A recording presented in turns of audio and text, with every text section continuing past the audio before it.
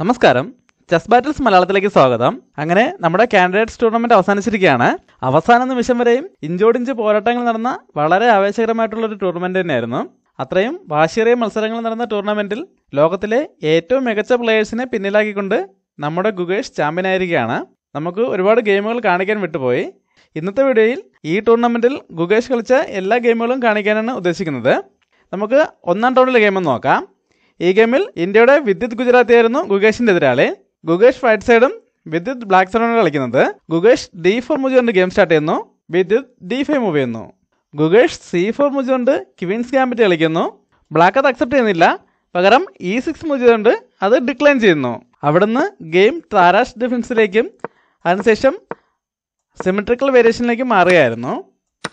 ഈ ഗെയിമിന്റെ ഏറ്റവും പ്രധാനപ്പെട്ട ഒരു മൂവ് വിദ്യുത്തിന്റെ ഭാഗത്തു നിന്നും വരെയാണ്. അത് പന്ത്രണ്ടാം മൂവിലാണ് സംഭവിക്കുന്നത്. ഈ പൊസിഷനിൽ വൈറ്റ് പോണുപേച്ച് പോണിട്ടുമ്പോൾ ബ്ലാക്ക് പോണബേജ് തിരിച്ചു കിട്ടുന്നില്ല. പകരം ഇ ഫൈവ് മൂവ് ചെയ്യുന്നു ഇവിടെ ഇപ്പോൾ പോണബേജ് തിരിച്ചു കിട്ടിയിരുന്നെങ്കിൽ ഗെയിം വൈറ്റിന് അനുകൂലമാകുമായിരുന്നു. അതെങ്ങനെയാണെന്ന് നോക്കാം. പോണുപേച്ച് ഇട്ടിരുന്നെങ്കിൽ വൈറ്റിന് നൈറ്റ് ഉപയോഗിച്ച് തിരിച്ചുവിട്ടിക്കൊണ്ട് ബ്ലാക്കിന്റെ നൈറ്റിനെതിരെ രണ്ട് പീസിൽ ഉപയോഗിച്ച് അറ്റാക്ക് കൊടുക്കാൻ കഴിയുമായിരുന്നു. ഇവിടെ ഇപ്പോൾ ബ്ലാക്ക് നൈറ്റ് ഉപയോഗിച്ച് നൈറ്റിനോട്ടാണെങ്കിൽ വൈറ്റിന് റൂക്ക് ഉപയോഗിച്ച് തിരിച്ചോട്ടാം ഇതോടെ ആ ബിഷപ്പിനെതിരെ രണ്ട് പീസിൽ വെച്ച് അറ്റാക്ക് വരും. ബ്ലാക്കിന്റെ ബിഷപ്പ് പിന്നിങ്ങിലും ആണ്. അങ്ങനെ ഒരു പ്രശ്നം ഒഴിവാക്കുന്നതിന് വേണ്ടിയാണ് ഇവിടെ ഇപ്പോൾ പോണബച്ച് പോണിട്ടതിന് പകരം ബ്ലാക്ക് ഇ ഫൈവ് മൂവ് ചെയ്തത്. ഈ സമയത്ത് വൈറ്റ് ഒരു എക്സ്ചേഞ്ചിന് ശ്രമിക്കുകയാണ്. നൈറ്റിനെ ബി ഫൈവിലേക്ക് കൊണ്ടുവന്ന് ബ്ലാക്കിന്റെ ബിഷപ്പിനെ അറ്റാക്ക് ചെയ്യുന്നു. ഇപ്പോൾ ബിഷപ്പിന് ക്വീന്റെ സപ്പോർട്ടുണ്ട് അതുകൊണ്ട് തന്നെ ബ്ലാക്ക് ഇപ്പോൾ ബിഷപ്പിനെ അറ്റാക്ക് ഒന്നും മാറ്റുന്നില്ല. പകരം ഇവിടെ ഒരു എക്സ്ചേഞ്ചിലേക്ക് പോവുകയാണ്. പോൺ ബേച്ച് പോണിട്ടെടുക്കുന്നു ഇവിടെ ഇപ്പോൾ വൈറ്റ് പോൺ തിരിച്ചു വിട്ടുകയാണെങ്കിൽ ബ്ലാക്കിന് ബിഷപ്പ് ഉപയോഗിച്ച് തിരിച്ചുവിട്ടാം അതോടെ ആ ബിഷപ്പ് നൈറ്റിന്റെ അറ്റാക്കിൽ നിന്നും രക്ഷപ്പെടുകയും ചെയ്യും.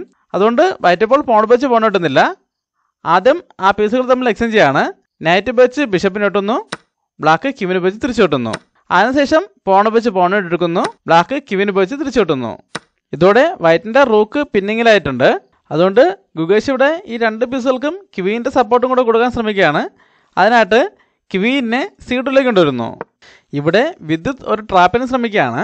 ഈ ഡെവലപ്പ് ആവാത്ത ബിഷപ്പിനെ ജി ഫോറിലേക്ക് ഡെവലപ്പ് ചെയ്തുകൊണ്ട് ആ ബിഷപ്പിനെ സാക്രിഫൈസ് ചെയ്യുന്നു. ഇത് വളരെ മികച്ചൊരു ട്രാപ്പാണ് ഈ വീടിന്ന് പോസ് ചെയ്ത ശേഷം എന്തിനാകും ബ്ലാക്ക് ഇവിടെ ഈ ബിഷപ്പിനെ സാക്രിഫൈസ് ചെയ്തിരിക്കുന്നതെന്ന് കണ്ടുപിടിക്കാൻ ശ്രമിക്കുക. എല്ലാവരും കണ്ടുപിടിച്ചാണെന്ന് പ്രതീക്ഷിക്കുന്നു. ഇവിടെ ബ്ലാക്കിന്റെ പ്രധാന ഉദ്ദേശം ഈ എഫ് ത്രീയിലുള്ള പോണിനെ ഇവിടെ നിന്ന് ഒഴിവാക്കുകയാണ്. അതായത് വൈറ്റ് ഇപ്പോൾ ഈ സാക്രിഫൈസ് അക്സെപ്റ്റ് ചെയ്യുകയാണെങ്കിൽ വൈറ്റിന് ഇ ഫോർ സ്ക്വയറിലേക്ക് ഉണ്ടായിരുന്ന കൺട്രോൾ നഷ്ടപ്പെടും. അതുകൊണ്ട് തന്നെ ആ നൈറ്റിന് അവിടേക്ക് വന്ന് റൂക്കിനെതിരെ അറ്റാക്ക് കൊടുക്കാൻ കഴിയും. ആ റൂക്കിനിപ്പോൾ വൈറ്റിന്റെ ക്വീന്റെ സപ്പോർട്ടുണ്ട് അതുകൊണ്ട് തന്നെ ആ ക്വീനിനെ അവിടെ നിന്ന് ഒഴിവാക്കാനായിട്ട് ആദ്യം റൂക്ക് ഉപയോഗിച്ച് ക്വീനെതിരെ അറ്റാക്ക് കൊടുക്കാം. ഈ റൂക്കിനുള്ള സപ്പോർട്ട് നിലനിർത്തിക്കൊണ്ട് വൈറ്റിന്റെ ക്വീൻ പോകാൻ രണ്ട് ഓപ്ഷനേ ഉള്ളൂ. ഒന്നുകിൽ ഡി വണ്ണിലേക്ക് മൂവ് ചെയ്യാം അല്ലെങ്കിൽ ഡി ത്രീയിലേക്ക് മൂവ് ചെയ്യാം. ഡി വണ്ണിലേക്കാണ് മൂവ് ചെയ്യുന്നതെങ്കിൽ ഈ ബിഷപ്പിനുണ്ടായിരുന്ന ഒരു സപ്പോർട്ട് നഷ്ടപ്പെടും. അതുകൊണ്ട് തന്നെ റൂക്കിനെ എ ടുവിലേക്ക് കൊണ്ടുവന്ന് ആ ബിഷപ്പിനെതിരെ രണ്ട് പീസുകൾ വെച്ച് അറ്റാക്ക് കൊടുക്കാൻ കഴിയും. ഇവിടെ ഇപ്പോൾ ബിഷപ്പിനെ അറ്റാക്കിൽ നിന്ന് മാറ്റിക്കൊണ്ട് റൂക്കിനെ സപ്പോർട്ട് ചെയ്യാൻ ശ്രമിക്കുകയാണെങ്കിൽ റൂക്കിനെ എ വണ്ണിലേക്ക് കൊണ്ടുവന്ന് വീണ്ടും രണ്ട് പീസുകൾ വെച്ച് ബിഷപ്പിനെതിരെ അറ്റാക്ക് വരും. അല്ലാതെ ഇപ്പോൾ ഈ ബിഷപ്പിന് സേഫായിട്ട് പോകാൻ വേറെ സ്ക്വയറുകളൊന്നുമില്ല ഇവിടെ ഇപ്പോൾ വേണമെങ്കിൽ ബിഷപ്പ് വെച്ച് ഇ ഫോറിൽ പോയിന്റ് എടുക്കാം. അങ്ങനെ ബിഷപ്പ് ഇവിടെ നിന്ന് മാറുകയാണെങ്കിൽ നൈറ്റ് ഇ ഫോറിലേക്ക് വന്ന് ഡി ടുവിലെ റൂക്കിനെതിരെ മൂന്ന് പീസുകൾ വെച്ച് അറ്റാക്ക് വരും. ആ റൂക്ക് ഇപ്പോൾ പിന്നിങ്ങിലായത് കാരണം റൂക്കിനെ അവിടെ നിന്ന് ഇങ്ങോട്ടും മാറ്റാനും പറ്റില്ല.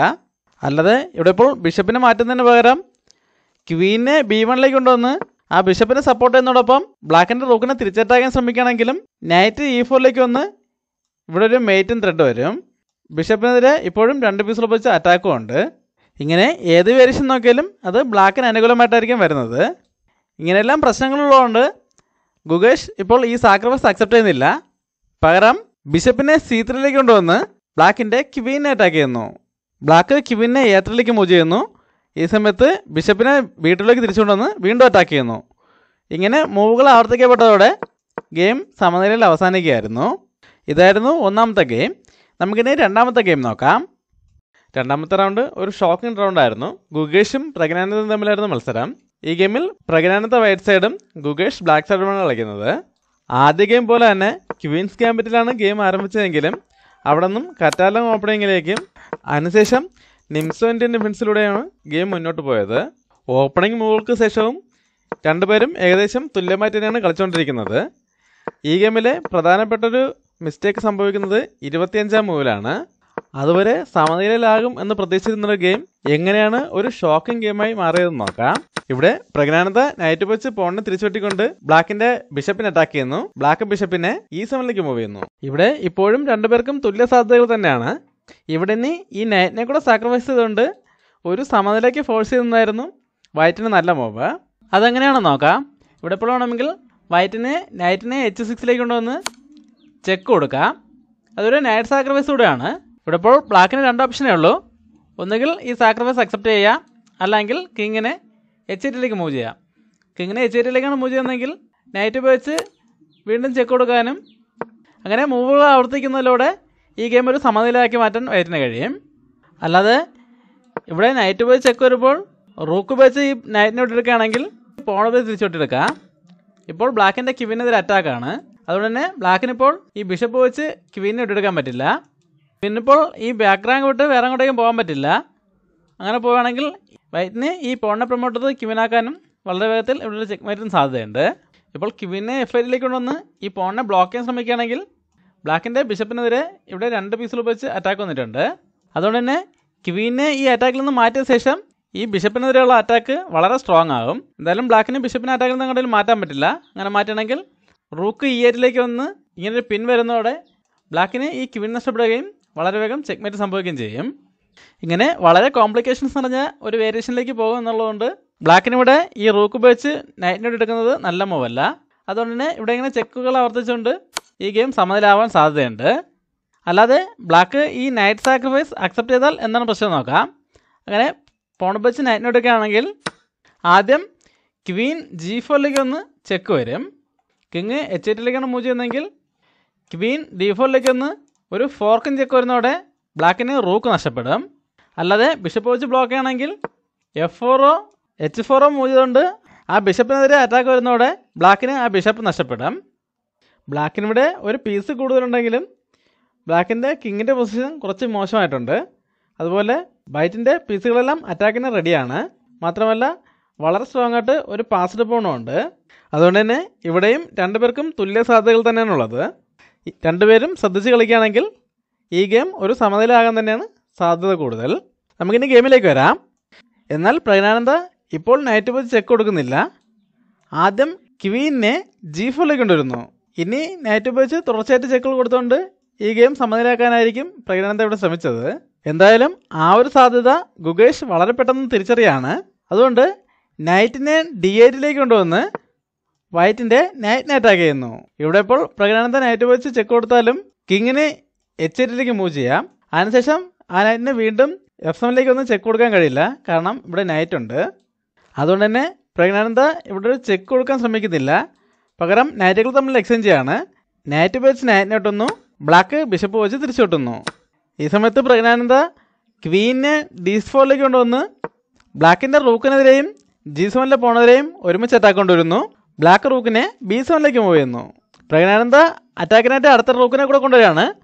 റൂക്കിനെ ഇ ഫോറിലേക്ക് കൊണ്ടുവരുന്നു. ഇനി റൂക്കിനെ കൂടെ ജി ഫൈവിലേക്ക് കൊണ്ടുവന്ന് ജി സെവനിലെ പോണിനെ അറ്റാക്ക് ചെയ്യാനോ അല്ലെങ്കിൽ രണ്ട് റൂക്കുകളെയും ഒരേ ഫയലിലേക്ക് കൊണ്ടുപോകാനാവും ഇവിടെ പ്രജ്ഞാനന്ദ പ്ലാൻ ചെയ്യുന്നത്. എന്നാൽ ഗുഗേഷ് ഇവിടെ ഈ രണ്ട് പ്രശ്നങ്ങളും ഒരുമിച്ച് പരിഹരിക്കുകയാണ്. അതിനായിട്ട് ആദ്യം ബിഷപ്പിനെ എഫ് സിക്സിലേക്ക് കൊണ്ടുവന്ന് വൈറ്റിന്റെ ക്വീനെ അറ്റാക്ക് ചെയ്യുന്നു. വൈറ്റ് ക്വീനെ ഇ ത്രീയിലേക്ക് മൂവ് ചെയ്യുന്നു. ഇവിടെ ഇപ്പോഴും ഇ സെവൻ സ്ക്വയറിലേക്ക് മൂന്ന് പീസുകൾക്ക് കൺട്രോൾ ഉള്ളതുകൊണ്ട് തന്നെ പോൺ വെച്ച് ഈ റൂക്കിനെതിരെ അറ്റാക്ക് വരാൻ സാധ്യതയുണ്ട്. അതിനുള്ള ബ്ലാക്ക് ബിഷപ്പിനെ ഈ സെവനിലേക്ക് കൊണ്ടുവന്ന് ആ പോൺ മുന്നോട്ട് വരുന്ന തടയുന്നു. വൈറ്റ് എച്ച് ഫോർ മൂവ് ചെയ്യുന്നു. ഇവിടെ ഗുഗേഷ് ക്വീനെ എച്ച് സിക്സിലേക്ക് കൊണ്ടുവരുന്നു. ഇതോടെ ഇ സിക്സിലെ പോണെതിരെ രണ്ട് പീസിൽ വെച്ച് അറ്റാക്ക് വന്നിട്ടുണ്ട്. അതിനോടൊപ്പം സി ഫൈവ് സ്കോറിലേക്ക് ക്വിന് ഉപയോഗിച്ച് കൺട്രോളും കിട്ടുന്നുണ്ട്. ഇവിടെ പ്രജ്ഞാനന്ദ എച്ച് പോണിനെ മുന്നോട്ട് കൊണ്ടുപോയാണ്. എച്ച് ഫൈവ് മൂവ് ചെയ്യുന്നു. ബ്ലാക്ക് ബിഷപ്പിനെ സി ഫൈവിലേക്ക് കൊണ്ടുവന്ന് വൈറ്റിന്റെ ക്വീനെ അറ്റാക്ക് ചെയ്യുന്നു.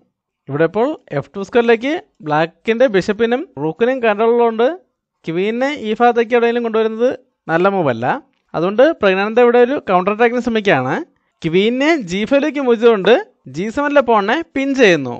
ഇവിടെ ഇപ്പോൾ ബ്ലാക്ക് ബിഷപ്പ് വെച്ച് എഫ് ടുലെ പോൺ ഇട്ടുകൊണ്ട് ചെക്ക് കൊടുക്കുകയാണെങ്കിൽ കിങ്ങിന് മൂവ് ചെയ്യാൻ സ്പേസ് ഉണ്ട്. ഇവിടെ- ഇപ്പോൾ ഇ സെവൻ സ്ക്വയറിലേക്ക് വൈറ്റിന് വീണ്ടും മൂന്ന് പീസിൽ ഉപയോഗിച്ച് കൺട്രോൾ ഇട്ടിരിക്കുകയാണ്. അതുകൊണ്ട് തന്നെ ഈ ഫൈവിലെ പോൺ അപകടകരമായിട്ട് മാറാൻ സാധ്യതയുണ്ട്. അതുകൊണ്ട് ഗുഗേഷ് ആദ്യം ആ പോണിനെ ഇടുന്ന ഒഴിവാക്കുകയാണ്. ബിഷപ്പ് വെച്ച് പോണിനെ എടുത്തുകൊണ്ട് വൈറ്റിന്റെ നൈറ്റിനെ അറ്റാക്ക് ചെയ്യുന്നു. ഈ സമയത്ത് പ്രജ്ഞാനന്ദ എച്ച് സിക്സ് മൂവ് ചെയ്യുന്നു. ഈ സമയത്ത് ഗുഗേഷ് റൂക്ക് ഉപയോഗിച്ച് എഫ് ടുവിലെ പോണിനെ എടുത്തോടെ പ്രജ്ഞാനന്ദ തോൽവി സമ്മതിക്കായിരുന്നു കാരണം ഇനി ഈ റൂക്കിനെ മാറ്റിക്കൊണ്ട് ഒരു ഡിസ്കേബിൾ ചെയ്യാനുള്ള സാധ്യതയുണ്ട്. അല്ലാതെ അഡ്വാൻസ് അറ്റാക്ക് ഇങ്ങനെ മാറ്റിയാലും അടുത്ത റൂക്കിനെ കൂടെ ഡി ഫൈവിലേക്ക് കൊണ്ടുവന്ന് നൈറ്റിനെതിരെയുള്ള അറ്റാക്ക് സ്ട്രോങ് ആക്കാനും വൈറ്റിന് ഒരു പീസ് കൂടി നഷ്ടമാവാനും സാധ്യതയുണ്ട്. അതായത് നൈറ്റിൽ നിന്ന് മാറുകയാണെങ്കിൽ ഈ റൂക്ക് നഷ്ടപ്പെടും. അല്ലാതെ കിങ്ങിനെ മാറ്റുന്നതിന് പകരം ഇവിടെ കിവിന് പേജ് ചെക്ക് കൊടുത്തിട്ടും കാര്യമില്ല. കാരണം ഈ റൂക്കിനെ തിരിച്ചു കൊണ്ടുവന്ന് ആ ചെക്ക് ബ്ലോക്ക് ചെയ്യാം. ഇപ്പോൾ ചെക്ക് ബ്ലോക്ക് ആയിട്ടുണ്ട്. അതുപോലെ വൈറ്റിന്റെ കിങ്ങിനെതിരെ ഡിസ്കവേർഡ് ചെക്ക് വന്നിട്ടുണ്ട്. ഇതോടെ വൈറ്റിന് ഈ കിവിൻ നഷ്ടപ്പെടുകയും ബ്ലാക്ക് ഗെയിം വിജയിക്കുകയും ചെയ്യും. ഇതെല്ലാം മനസ്സിലായിക്കൊണ്ടാണ് ഈ പൊസിഷനിൽ റൂക്ക് ഉപയോഗിച്ച് എഫ് ടുവിലെ പോയിന്റ് എടുത്തപ്പോൾ തന്നെ പ്രജ്ഞാനന്ദ തോൽവി സമ്മതിച്ചത്. ഇത് ടൂർണമെന്റിൽ ഗുഗേഷിന്റെ എല്ലാ ഗെയിമുകളും കാണിക്കാമെന്ന് പ്രതീക്ഷിച്ചാണ് വീഡിയോ ചെയ്തു തുടങ്ങിയത്. എന്നാൽ വീഡിയോയുടെ ലെങ്ത് പ്രതീക്ഷിക്കുന്നത് പോലെ നിർത്താൻ കഴിയുന്നില്ല. അതുകൊണ്ട് രണ്ട് ഗെയിം വീതം കാണിക്കാമെന്ന് പ്രതീക്ഷിക്കുന്നു. അടുത്ത രണ്ട് ഗെയിമുകളായിട്ട് വീണ്ടും കാണാം. നന്ദി നമസ്കാരം.